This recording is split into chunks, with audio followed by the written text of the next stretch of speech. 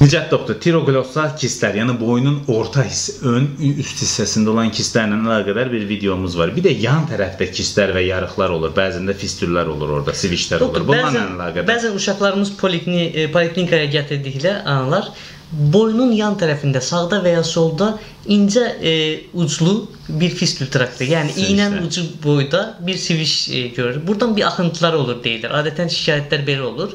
Bəzən də o e, ucu tıxanmış e, sinüslərdən, yəni yolun ucu tıxandığı zaman e, onun arxasında möhtəviyyat toplandığı zaman kistlərə çevrilir.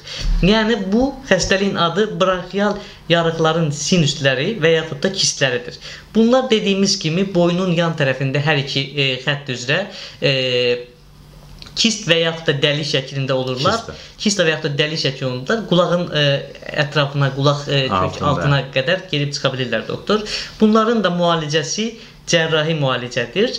O o kisti və yaxud da fistül yolunu çıxartmamız lazımdır doktor. Bəzən infeksiyalaşıb da gedə bilirlər onlar. Doğrudur doktor. Bunlar bəzən absiləşirlər. Bu zaman da eyni triglosayt kistdə etdiyimiz kimi e, ilk öncə e, absenin, yəni irinli möhtəviyyatı müalicə edirik, boşaldırıq. Ondan sonra doktor e, definitiv əməliyyatını edirik.